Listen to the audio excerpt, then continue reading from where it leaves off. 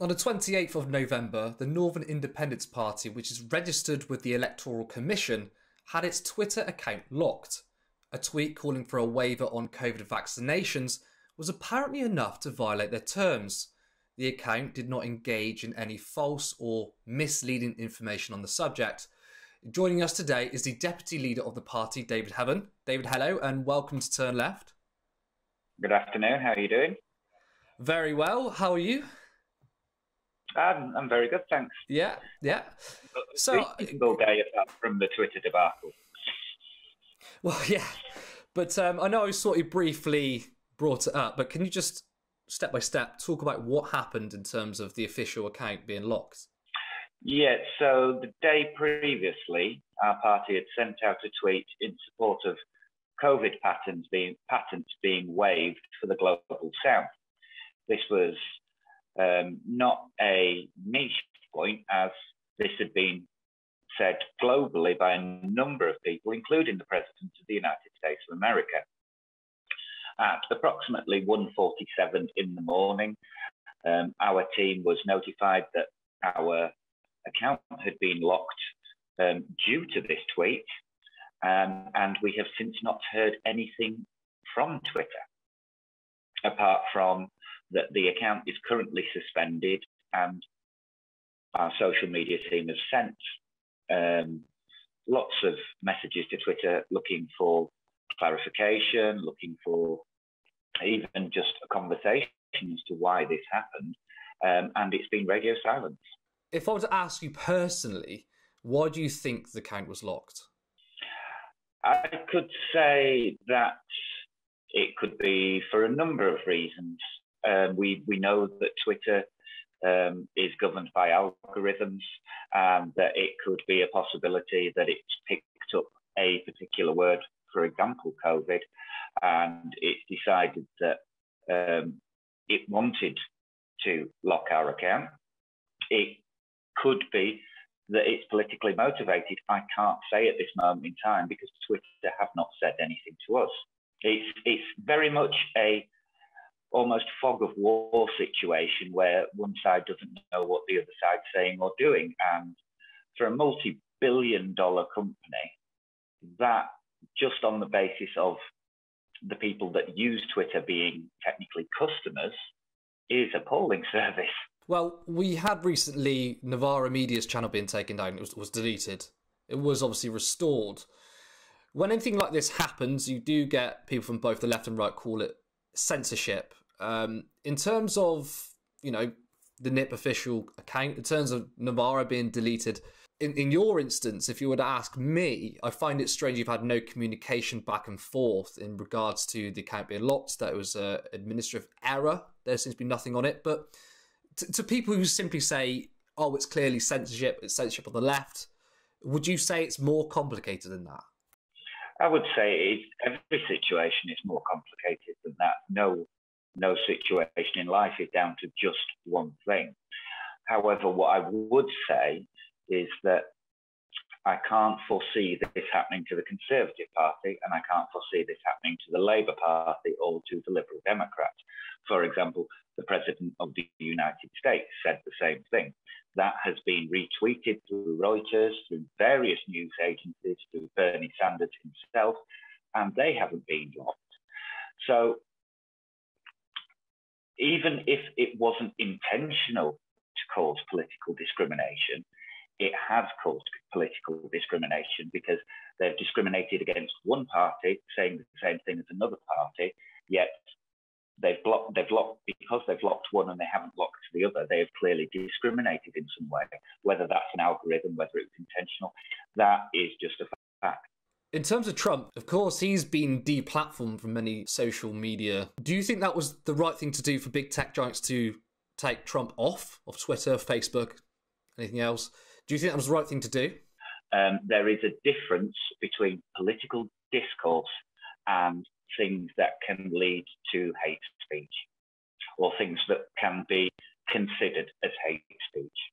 Now, that is up for the individual to determine um, so that would be up for Twitter to determine when someone is using their platform the same way as it would be for Facebook. it would be up for the you know independent press complaints commission in this country if it was printed in a newspaper. Um, that is a very different situation to ours, where we have simply expressed an opinion, as a number of other people have expressed globally regarding the current pandemic that's going on. I can't really get into the ins and outs of every tweet that President Trump sent. Now, I, I don't dis- I don't agree with pretty much everything the man has said, but his right to say it is a different subject altogether. For sure, yeah. And like I said, I mean, some would argue that in terms of Trump, he didn't incite, you know, an uprising, and as someone who was you know, formerly the president, is a very important man. It can be very dangerous. Whereas the Northern Independence Party is a small political party. However, it is registered with the Electoral Commission. It has uh, a right to say what it needs to say. By the way, the, the policy is completely correct. Uh, we should be wavering patents on it. So there's nothing controversial said there. But do you worry about no, maybe under this? yeah, go ahead. And I would, I would hold everybody should be held to the same standard. Everybody should be held accountable to the same standard, uh, regardless whether you're a, um, a political party, whether you're an independent politician. Everybody should be held to the same standard. Whether, I mean, we haven't said anything that has breached anything at all. That is yeah. that is a fact. How has the response been? Have you had much media uh, attention from this? Have you had a lot of support in regard to you know obviously the whole Twitter debacle? On the first day, um, the Twitter suspension was in effect very um, did what it said on the tin in that we couldn't get messages out there. However, we have a great membership that has supported us brilliantly. So we've got the message out to our members. Our members have got the messages out, and hence why I'm sat having a conversation with you and why Philip had an interview yesterday.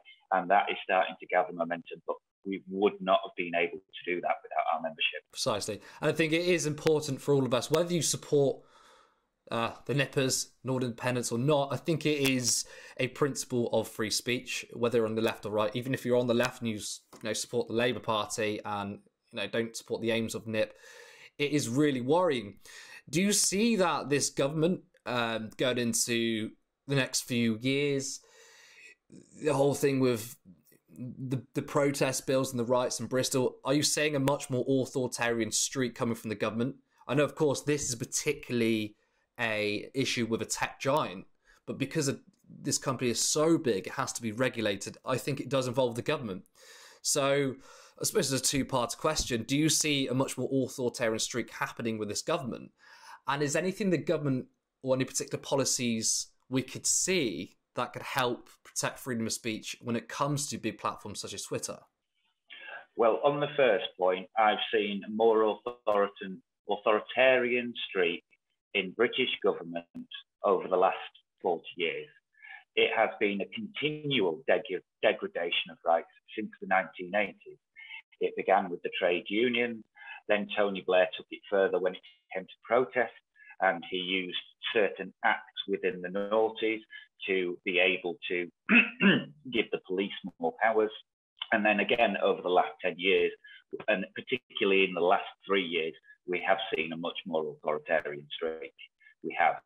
Um, and what, what, and those are things that don't happen overnight. Those are things that your rights are chipped away slowly. They don't take all of, nobody ever takes all of your rights all in one go. They chip away at them, and then one day you realize, oh my God, they're all gone. Uh, on the second point, yes, Twitter it is a um, multi-billion dollar US company. However, it operates in the United Kingdom. And any company that operates within the United Kingdom uh, should be held to all the laws. Otherwise, they shouldn't operate in the United Kingdom. Um, and so, yes, I do believe that the government do have the power to regulate foreign companies that work in the United Kingdom, social media companies or land-based companies. Um, it's whether they choose to use that power is the question. And given my first answer to the first part, I can't foresee it happening anytime soon. Precisely, yeah. There are some people out there that, that try to make the case that Twitter and Facebook and all these other companies are private companies, therefore they have a right to kick off whoever they want. The difficult thing about that, though, is because these companies are so large. And also, what we're seeing in terms of the mainstream media is very hard to get your voices heard. Social media is a powerful tool to get people with a smaller platforms. So I've never really bought into the argument that people say, oh, it's a private company. So it is, it is very worrying uh, what we can see in the future. Um, this is going sort of away from censorship more towards the future, but have you had contact with other smaller parties? Are you working some sort of alliance? Uh, we we have um, spoken uh, to other parties. I think it's been shown on, on Twitter and on social media that that PAL, an alliance of the left, is working together. So um, I'm not deep in those discussions. You'd have to speak to another, mm. another member of the NEC for that. But uh, I can assure you that um, everybody on the left is trying to work together. And I suppose with the Northern Independence Party, with Breakthrough, once again, the smaller parties are starting to bubble up because the Labour Party is vehemently moving to the right. I'd like to actually get your thoughts on the recent cabinet reshuffle. Is this just another Blairite project from Keir Starmer? Well, first of all, from a leadership point of view, I would feel very aggrieved and upset should I go away somewhere and Philip Proudfoot decide to reshuffle um, our operations team or, or any of our teams without informing me. So, first of all, I think it shows horrendously crass leadership from Keir Starmer and a very insular way of thinking in that he can't even speak to his deputy about it. Um, secondly, I will make no bones about it. I don't agree with the politics of most of the people in the new shadow cabinet. And I think we need to get to a point as a country where we understand that politics of the past will not help the future. Because I make the argument all the time that centrism has actually never won an election. Because if you even think about Tony Blair, I don't think anyone really perceived this sort of moderate centrist figure. He was a candidate or perceived as candidate for change. There was a lot of excitement um, surrounded his campaign. Of course, he had obviously the money backers. He had the Sun and the corporate media behind him. But I've never bought the argument that centrism can somehow win an election. I don't think it's ever worked for the Labour Party. And nobody ever expects the same from the Conservatives. Nobody ever says the Conservatives must reach for the centre to win. They've gone more and more right wing and they, and they seem to win. So I, I'm really confused what Keir Starmer is thinking here. I understand his politics are much more to the right, but I don't see any sense of electability coming out from him probably the whole time he's been leader. What what is he playing at? I get your point in that centrism hasn't ever won an election, and I think you're right in that the 1997 election, Labour's victory was was based on the fact that the Conservative Party was so bad. That's why there was a landslide. It was something new. People never people never vote against the status quo if it's working for them. They never do. So that was a definite the status quo isn't working, we need change. Since that point, Labour has bled votes over and over again. It's a common misconception that um, in 2019 it was Labour's worst ever result. Um, could, Labour got roughly the same amount, same percentage of vote that they got in the 2005 election. But because the centre parties didn't do very well, they managed to get the majority because of the outdated first past the post system. Um, I think that Keir Starmer is running back to what he knows and what will think works. And I don't actually think he has any vision for the future of this country. And he's going back to what he thought worked before when it didn't really work. And if it had have worked, we wouldn't be in the state, the country would not be in the state that it is now. Do you think that the second referendum was a huge mistake coming from the Labour Party. Because even, I mean, I personally think it's a mistake. However, I don't think Labour would have won had they stuck to Brexit, but I think they would have done much better. But I'd like to know from your point of view, from a political party that is a separatist movement, your thoughts on Brexit, the debate in the last few years. Is there going to ever be a case to rejoin in the future? I'd like to know what you think about Brexit. I can give you my personal view on the situation, but I can't give you a party view on the situation. Fair enough. Yeah. Because that is that is that is up to our members, not up to me. My personal view is that um, people's problems in the early 2010s were exploited, and that people didn't understand why people were voting for Brexit. Everybody had their individual motivation and everybody had their right to that individual motivation. What the British political system did, didn't do, was it didn't try and understand its own citizens. It didn't try to answer the questions that answer the questions that they were giving. They were giving questions of why have we got more food banks? why is the NHS running worse? And that left one campaign open to going, well, we'll just blame all of these people. And the other side of the campaign didn't have an answer to that. So you have to understand your citizens, not your citizens, but you have to understand the citizens around you. You have to understand what their situation is. You have to know what motivates them. And the political system in this country over the last, I won't even say it's 10 years because it's a lot longer than that, it's about 30 to 40 years, including New Labour, has just ignored its citizens. There was legitimate agreements with Brexit, suppose. Uh, you did have the democratic argument, and obviously the Labour Party, traditionally, Labour Party were Eurosceptic. So I think that, of course, the official Brexit campaign siphoned off votes through racism, through uh, xenophobia. But there's a lot of people who felt like there was an issue of democracy. And I think that whilst we could talk about austerity feeding into the idea of being Eurosceptic, I do think there would have been a healthy support for Brexit, regardless, even if we had fully funded public services, because it was an issue of democracy. And like I said, the Labour Party used to be traditionally Eurosceptic. Brexit was wasn't that popular in the nineties, and it seemed to well, we know where we are now. Nigel Farage never won a seat in Westminster, but he arguably one of the most powerful politicians. What do you see about in terms of Northern independence? Of course, it's niche now, but you your party's only just started. There could be some real traction here, couldn't there? Uh, well, there has been for quite a considerable amount of time. We've had Plaid Cymru and we've had the SNP around in the United Kingdom for, for quite a long time. The SNP, uh, once Labour ignored Scotland, the SNP took a foothold and they haven't let it go.